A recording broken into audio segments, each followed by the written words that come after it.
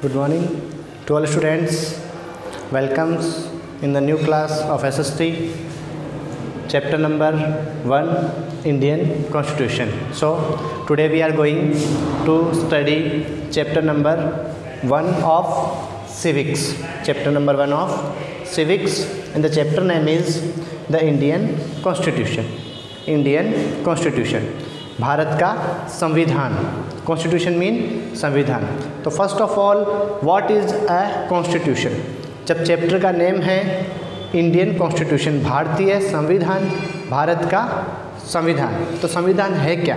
Constitution क्या है? What is constitution तो अगर सिंपल वर्ड्स में देखें in simple words constitution is a set of rules and regulation on which kind, what kind a country is governed. Okay तो एक set है, एक पूरा एक मैनेजिंग एक प्रोजेक्ट हो सकता है। मींस एक ऐसा सेट है जिसमें क्या है? एक कंट्री को कैसे गवर्न किया जाएगा? कैसे? देश में सरकार चलेगी? कौन कौन से रूल्स कौन कौन से रेगुलेशंस कौन कौन से प्रिंसिपल्स उसमें रहेंगे? क्या उसमें कानून होंगे? क्या नियम होंगे? किस तरह से सरकार को चलाया जाएगा?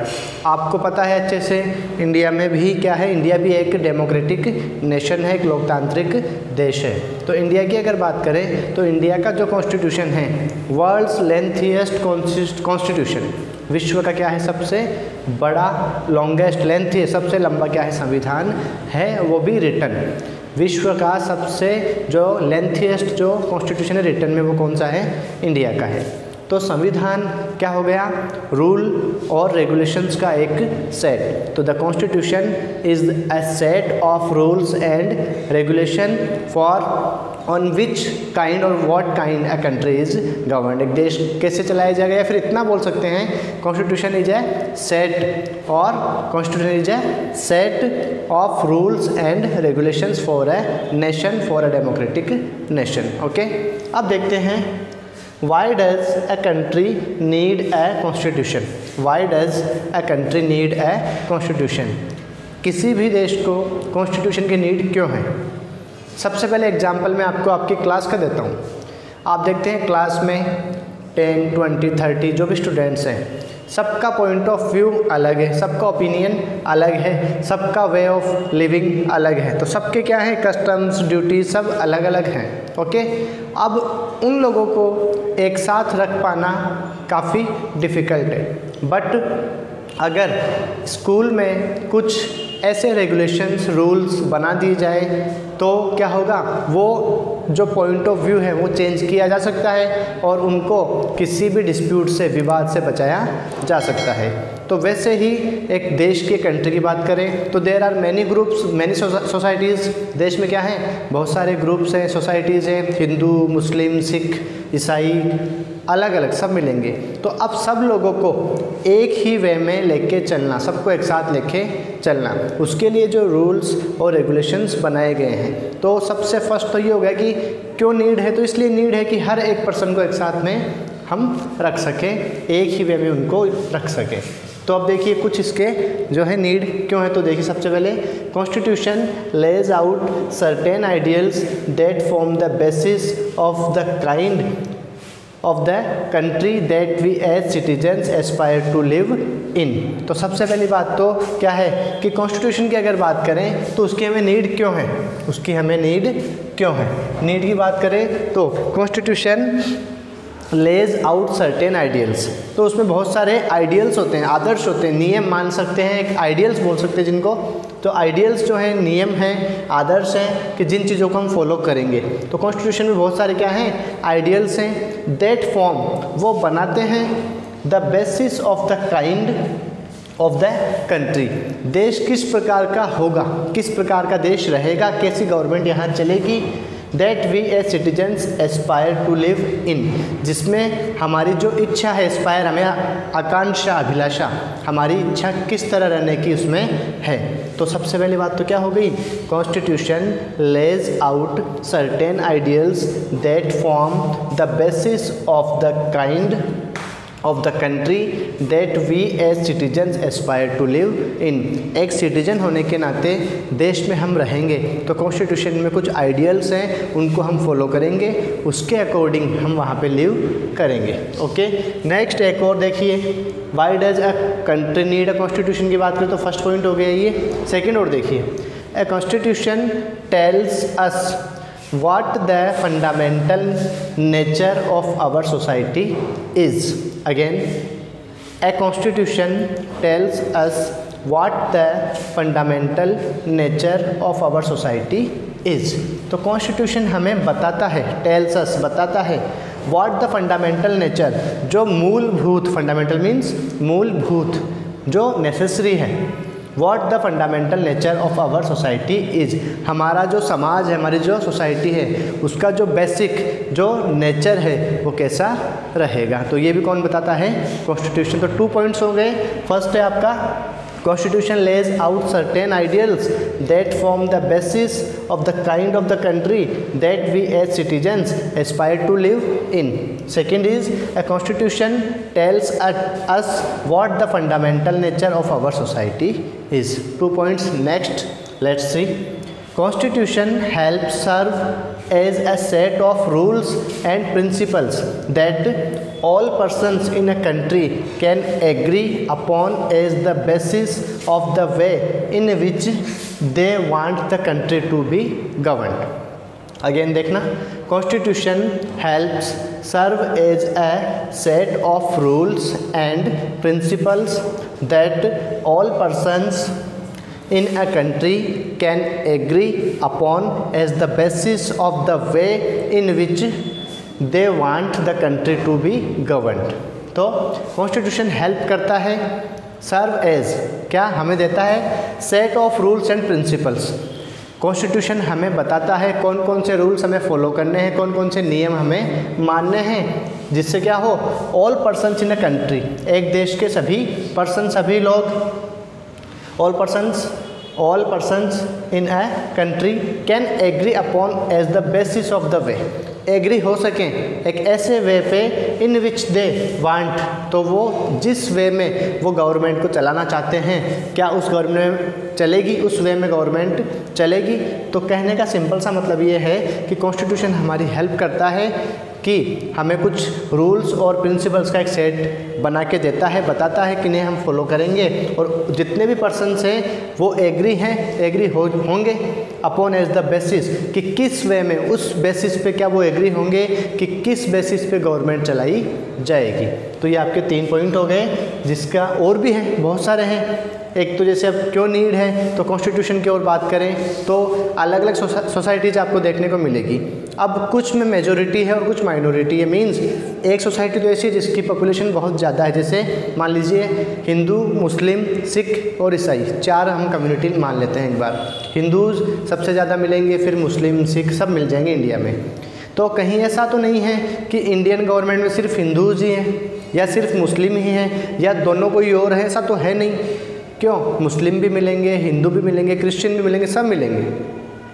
बिकॉज़ ऑफ़ कॉन्स्टिट्यूशनल अमेंडमेंट जो कॉन्स्टिट्यूशन की अगर बात करें, उनकी वजह से अगर देखा जाए, जो भी कॉन्स्टिट्यूशन ने हमें रूल्स और रेगुलेशन दिए हैं, उनकी वजह से ही है कि जो मेजोरिटी है और जो माइनॉरिटी है, दोनों को एक साथ में लेके रखा जाएगा। तो ये कुछ इसके क्या हैं? बेसिक थिंग्स है, जिसके लिए हम बता सकते हैं कि हमें क्यों नीड है कॉन्स्टिट्यूशन की। ओके अब आगे देखिए, एक पॉइंट है।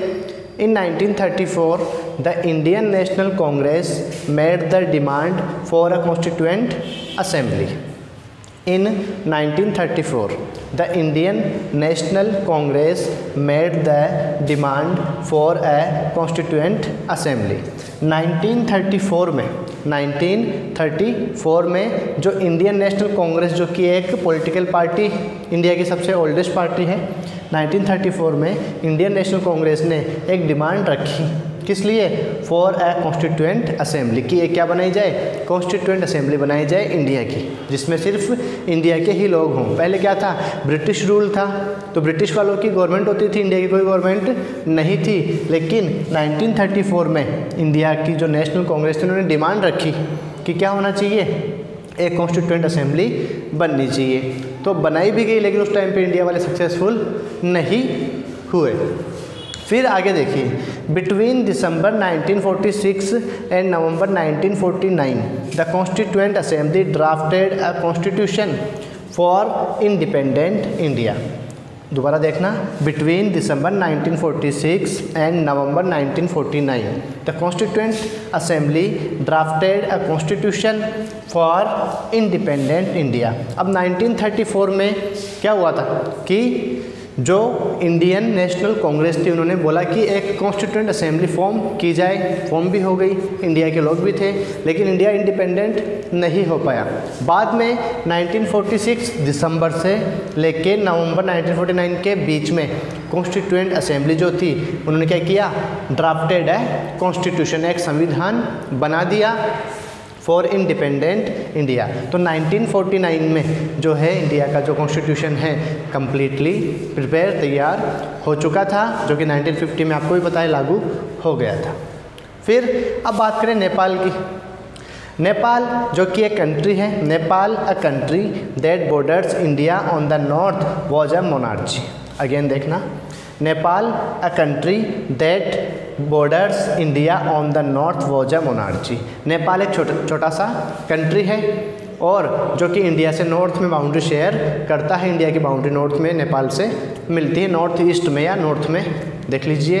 तो नेपाल जो था, वो क्या था, एक मोनार्ची था। अब मोनार्ची मतलब राजाशाही। मोनार्ची मीन्स राजशाही, जहाँ पे राजा का शासन हो। तो 19 अब देखिए नेपाल की बात करें सॉरी तो नेपाल क्या था, एक मोनार्ची था। अब उसमें कॉन्स्टिट्यूशन लागू किया गया। Previous constitution adopted on in 1990 1990 में नेपाल में दो बार कॉन्स्टिट्यूशन अडोप्ट हुआ है। एक तो 1990 में, एक 2006 में। तो पहले प्रीवियस की बात करते हैं। 1919 में जो प्रीवियस कॉन्स्टिट्यूशन पहला 2006 से फ़र्स्ट वाला जो था तो प्रीवियस कॉन्स्टिट्यूशन एडॉप्ट कब हुआ था नेपाल में? 1919 में।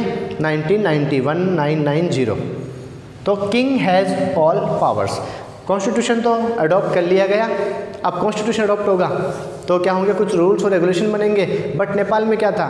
मोनार्चिकल सिस्टम ही रन कर रहा था कंटिन्यूसली वही चल रहा था। बट आफ्टर दैट उसके बाद में क्या हुआ? नेपाल जो था डेमोक्रेटिक नेशन बना कब?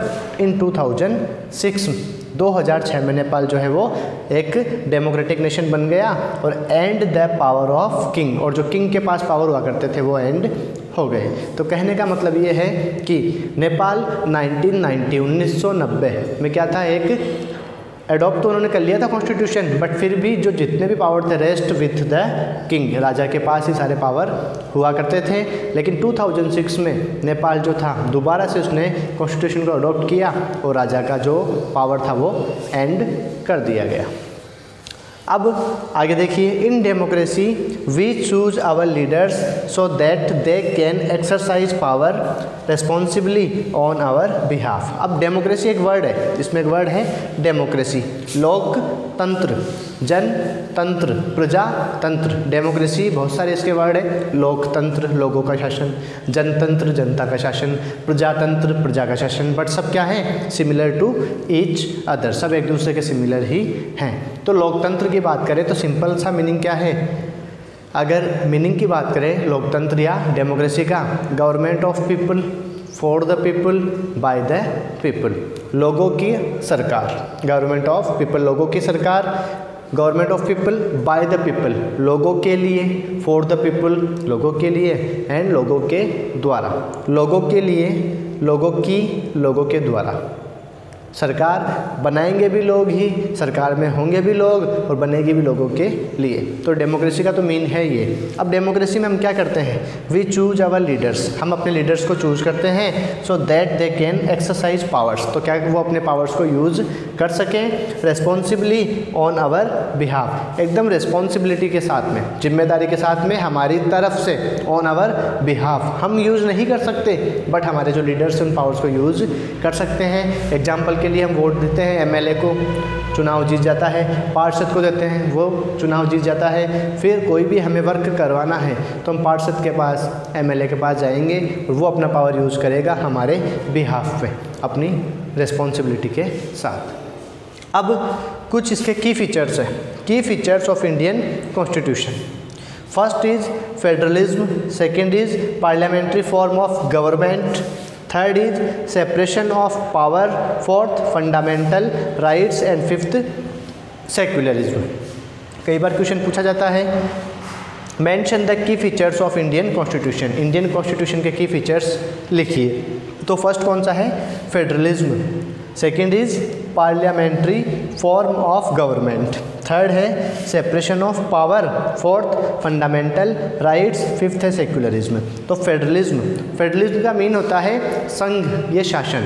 संघीय शासन. मतलब जो गवर्नमेंट है या जो पावर्स हैं उनकी अगर बात करें तो गवर्नमेंट जो है, एक ही नहीं रहेगी। गवर्नमेंट में अलग अलग पार्टिसिपेशन रहेगा।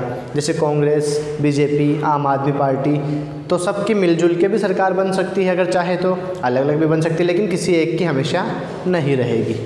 Parliamentary form of government government जो है, उसको कौन से फॉर्म में बताया गया है? पार्लियामेंट्री फॉर्म, क्योंकि पार्लियामेंट बनेगी, उसके टू हाउस बनेंगे, एक लोकसभा, एक राज्यसभा। लोकसभा के मेंबर अलग होंगे, राज्यसभा के मेंबर अलग होंगे। तो जो गवर्नमेंट उसको पार्लियामेंट्री फॉर्म में डिवाइड किया गया है, बनाया गया है।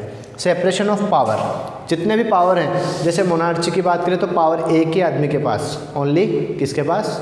किंग ओके लेकिन अगर डेमोक्रेसी की बात की जाए तो डेमोक्रेसी में या कॉन्स्टिट्यूशन भी एक ही बात है दोनों। तो सेपरेशन ऑफ़ पावर पावर जो है वो क्या होंगे? सेपरेट होंगे। एक के पास नहीं होंगे। स्टेट गवर्नमेंट के पावर अलग है। सेंट्रल गवर्नमेंट की पावर अलग है। एजुकेशन का पावर है तो एजुकेशन मिनिस्टर के पास है।